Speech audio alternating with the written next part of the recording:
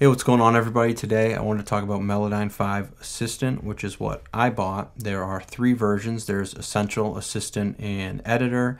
And basically I didn't feel the need to buy Editor because that's basically allowing polyphonic audio, which I don't tend to deal with. I mean, it'd be really cool if you were very smart and in tune with uh, music theory and stuff like that because you could create some really insane things with that. But for myself, I'm basically just doing vocal editing for that. So I figured assistant would be what I needed. And the difference between assistant and the essential is basically there's only pitch and timing with essential. And what's added to assistant is you have vibrato, phrasing, formants, and dynamics. So basically what I really use is isn't much vibrato or phrasing, but formants and dynamics I found really help. It basically allows you to take something that is too quiet and make it louder or vice versa. And to tweak the formant is basically how you sing it in terms of the throat, like how it sounds. So you can tweak that as well. So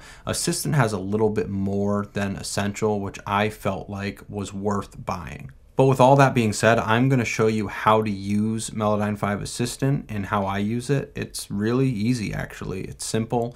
Once you get the hang of it, it might take like a day or two because there is a bit of a learning curve, but hopefully this video will help with that. And I just want to say I can definitely see how people might be insecure about their voice because basically all things that are being created today, or most things I should say, are using Melodyne and it can take something that's off and literally correct it to make it perfect. And even if it sounds a little bit weird, where auto-tune might make it jump to a certain note and it might sound weird, with Melodyne you can pull the note down. Let's say that you sang it sharp a little bit. You can pull it down and then adjust the formant and basically make it sound like you didn't mess up at all. So I can see how people would listen to other artists and say, oh man, maybe I'm not a good singer. I don't think that's the case. I think that people really are just using uh, this editing software that is making them sound amazing. Not everybody, but a lot of people. Okay, so I'm in Logic and I've been working on this song, which is a whole other story because I actually, you know, changed the key a whole step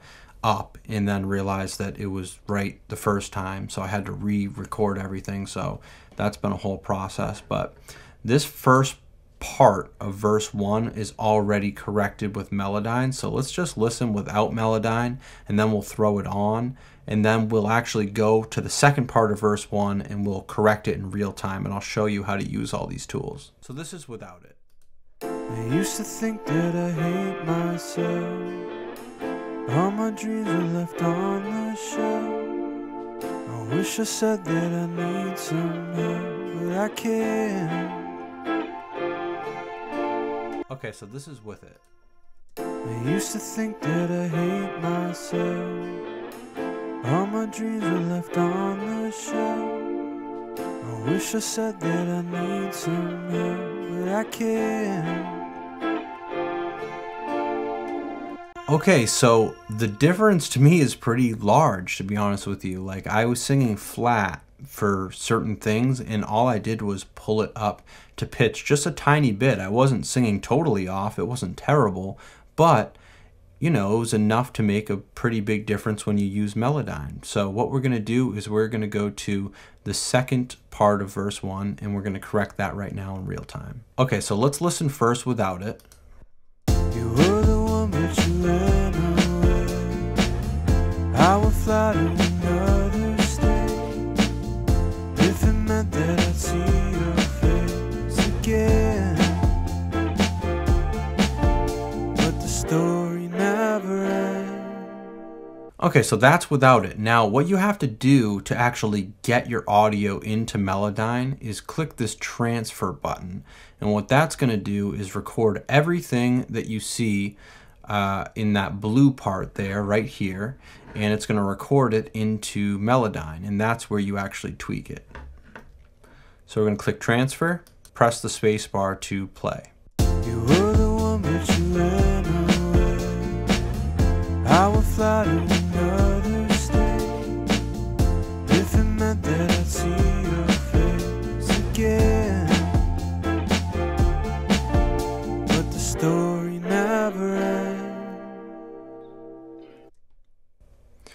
Okay, so you can see it just analyzed all that audio and it literally took everything into account. And here are all the different pitches for the notes that I was singing.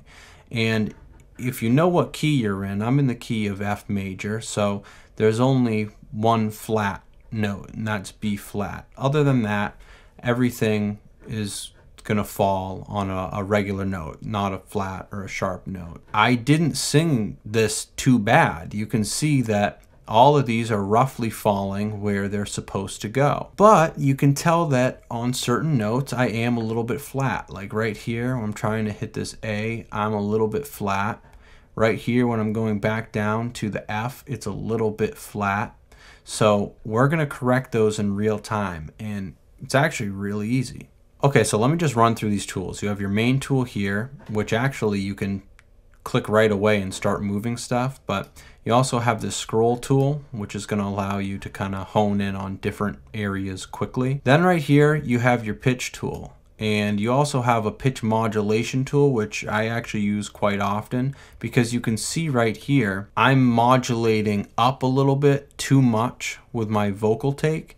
So you can actually split this and then pull it back down. I'll, I'll talk about that in a second. The first thing we'll talk about is just the pitch tool. So the, the main thing you're going to want to do is take the pitch tool here and right there you can see it, it analyzed everything and you can actually just double click all of these things into place and that's going to make it perfect. The problem with making everything perfect is that it sounds robotic. So you don't want things to be perfect. You still want them to sound human, in my opinion, unless you're going for like a Cher sort of effect. But let's say I did want to do that. You would just double click. You can see it just pulled that up, pulled that into place, pulled that down. It's very quick, it's very easy. Um, but we're going to go ahead and undo that. A really cool thing too is when you hold the note down and you click on it, you can actually hear how it sounds. So you can hold this down and then pull it up to where it sounds good in your ear. Which is a very cool thing. Now what I was talking about with the dynamics versus just the basic editor that comes with Essential is this tool right here this amplitude tool. And I'm going to be jumping around because it helps me to explain things. This amplitude tool allows you to actually make this smaller. Like you can see this vocal part is a little bit louder than other parts, especially right here too. People aren't going to really like that when they're listening back. So what you can do is take the amplitude tool, click it, and then pull down and you can adjust it to be either louder or quieter. So I'm going to really exaggerate this so you can get a feel for it.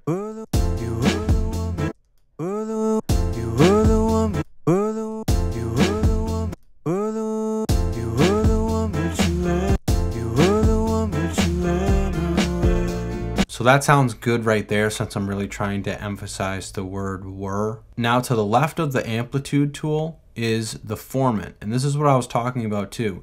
You don't have this in Essential, which I think, you know, is kind of essential to have it in Assistant, to be honest. Because if you're changing the pitch and it's jumping too much, it can sound really robotic, but you can actually use the formant tool to kind of level that out. So let me uh, show you what I'm talking about. Let's say that we pulled this up. Uh,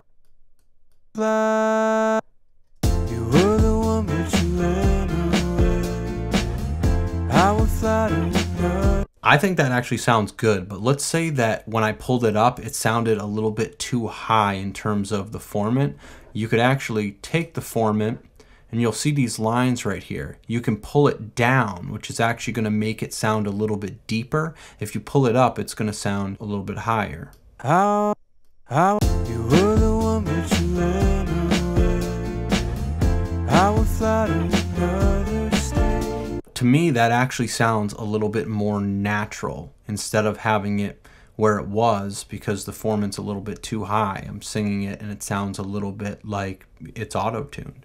Now, let me show you a really cool tool, and I use this all the time. This is the note separation tool, okay? So what we're gonna do is let's go back to the pitch tool to get rid of that confusing stuff.